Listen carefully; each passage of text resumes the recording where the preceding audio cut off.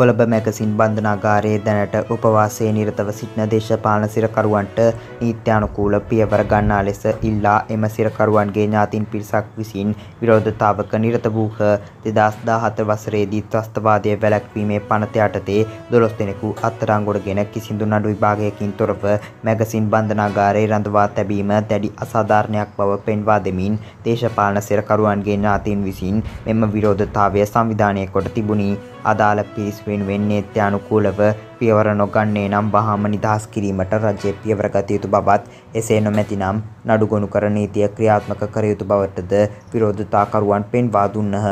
එමෙන්ම මේ වන විට උතුරු පළාතේ දේශපාලන සිරකරුවන් විශාල ප්‍රමාණයක් බන්ධනාගාර කිහිපයකම නඩු විභාගයකින් තොරව රඳවා තැබීම මගින් එම සිරකරුවන්ගේ පවුල් ගැටලු රැසකින් පීඩාවන්ට පත්ව ඇති හෙයින් සියලු දේශපාලන සිරකරුවන් කොන්දේසි විරහිතව නිදහස් කිරීමට වත්මන් රජය වහා පියවර ගත යුතු බවටද විරෝධතාකරුවන් වැඩිදුරටත් පැවසූහ.